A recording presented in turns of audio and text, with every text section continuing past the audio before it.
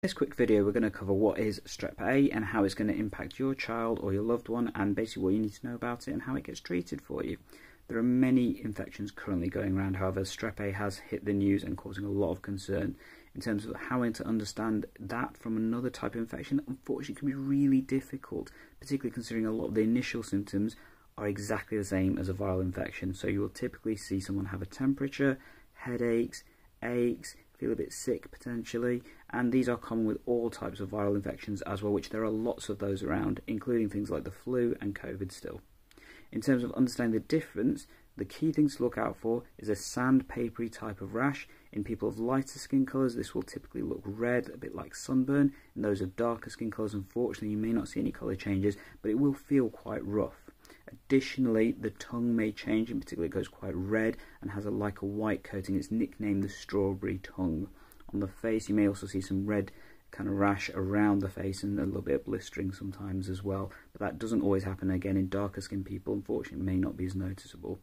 Key things to look out for is how your child is responding with those particular symptoms. If you see any of those rashes and things, take a good photo. That can be really useful and send it to your local practice if they've asked you how to do that because that will help them understand how to see your child safely and give you proper advice.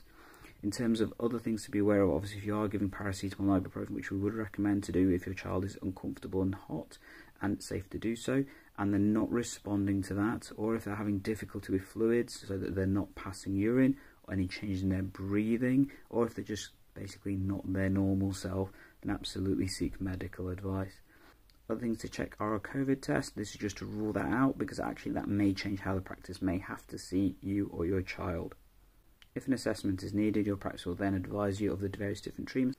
In terms of treating strep infections, there's common things that you see with all types of infections, so plenty of fluids, paracetamol, ibuprofen for pain and temperature when appropriate, but actually we do use an antibiotic called penicillin, which is used to treat the infection very effectively.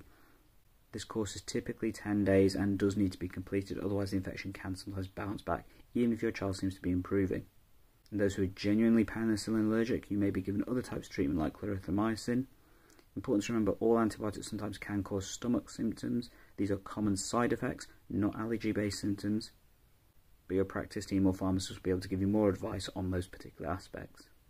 If despite this your child continues to get unwell or if you're concerned, obviously you may need to seek further advice at that point.